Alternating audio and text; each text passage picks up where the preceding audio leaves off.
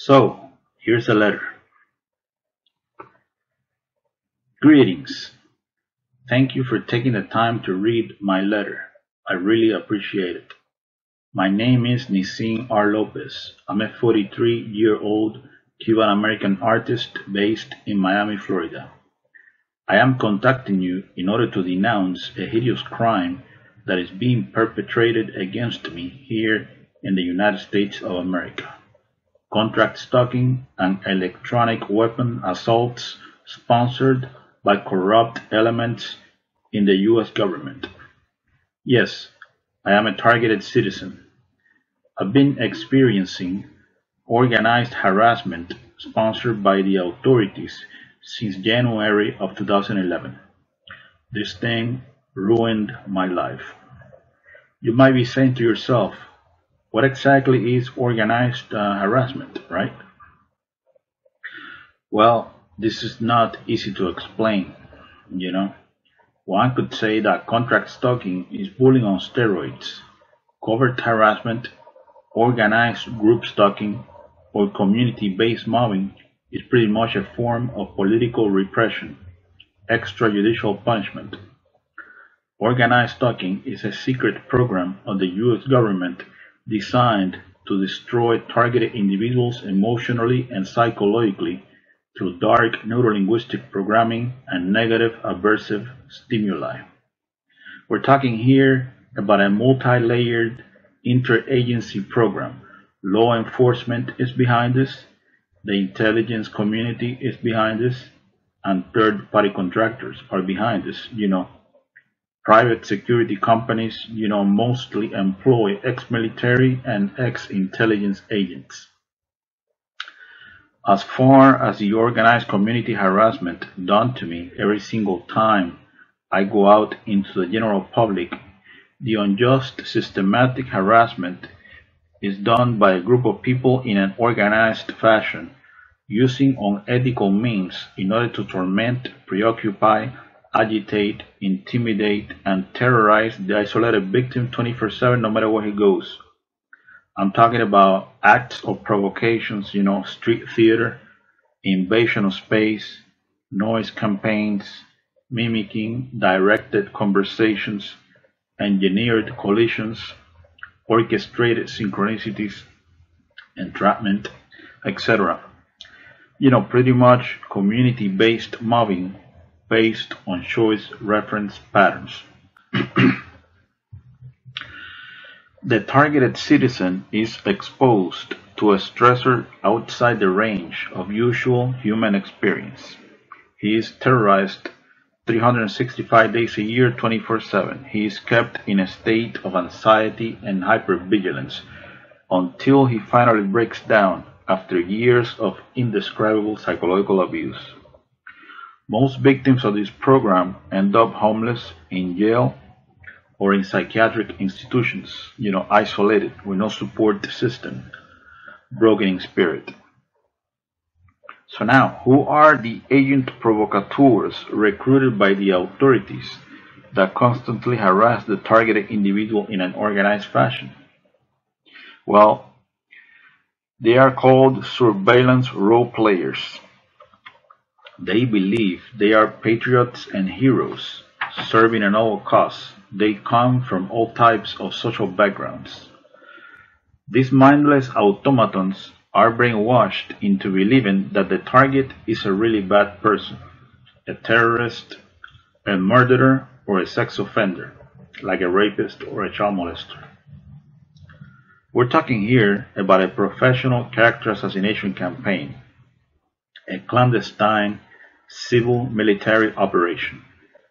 The command station for organized stalking is the fusion centers. You know, we're talking here about Threat Intelligence Consortium. Overall, contract stalking is a secret, illegal, long-term, unconstitutional surveillance program designed to neutralize outspoken, politically incorrect freethinkers that are designated as enemies of the state even if they are just innocent, harmless, law-abiding citizens that pose no real threat to anyone. Keep in mind that the targeted individual is also subjected to directed energy weapons and other forms of psychological torture. I'm talking about mind control neuroweapons, you know, remote neuro influencing technology.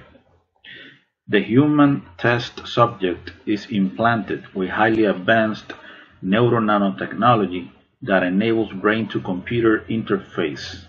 This secret technology of DARPA flavor enables the handlers to link the target's unique brain signature to their supercomputer. These are some of the things they can do with this technology. This technology enables the handlers to read the target's uh, thoughts verbatim in real time. They can tap into the optical nerve and into the auditory system. They can see what you see and they can hear what you hear. This technology allows the handlers to map out all the target's emotional states, especially negative emotions like sadness, anxiety, fear, anger, etc. They can beam these emotions back into the target anytime. They can even Google your memories. This technology can be used to implant words, phrases, images, and motion pictures into the target's psyche or natural stuff. The idea behind this is to make the target believe that those are his real thoughts when they are not, you know, synthetic telepathy. This technology can be used to control dream cycles and sleep patterns. They can deprive the target of sleep. This technology can be used to control the muscle movement of the target, causing spasms. They can also inflict pain in any part of the body. This technology can be used to sexually manipulate the target. It can make the target feel sexual arousal or it can sort of turn off the target's uh, sexuality altogether. It can also be used to manipulate the hormones of the target, thus lowering and raising estrogen and testosterone levels in women and men respectively. This technology can also be used to eliminate the target with an artificial heart attack that generates no forensic evidence. Pretty amazing stuff, right?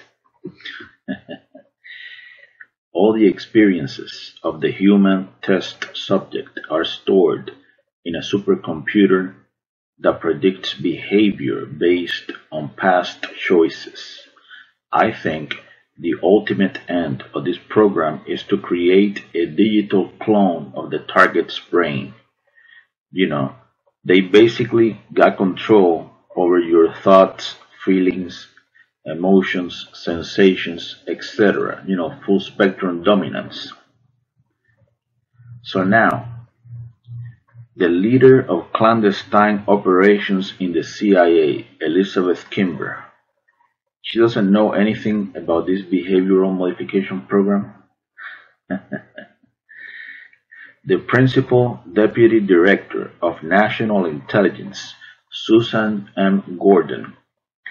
She doesn't know this kind of thing is taking place. The Director of the Defense Intelligence Agency, Robert P. Ashley. He doesn't know this is going on.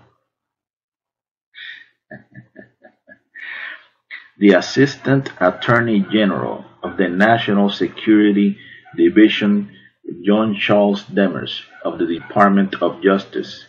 He doesn't know this is going on. the director of the FBI's Terrorist Screening Center, Charles H. Kable. He doesn't know this is going on. the Undersecretary of Homeland Security for Intelligence and Analysis, David J. Glawe. He doesn't know this is going on. of course, they all know this is going on.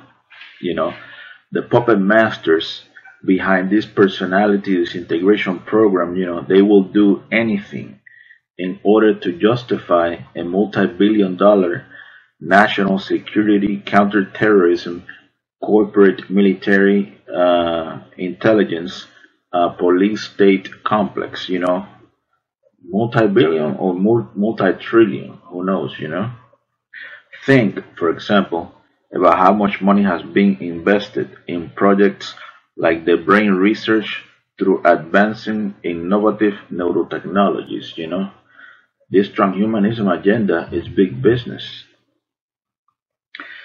So, you know, let's go ahead and put this into perspective. Conclusion. On one hand, we got heavy, overwhelming, multi-layered, organized community harassment designed to drive a person crazy. Then, they got a military technology based on DNA resonance that can be used to push a person over the edge, you know? A perfected breakdown tactic on the human will, you know? This is a humanity 2.0 experiment, you know, no question about it.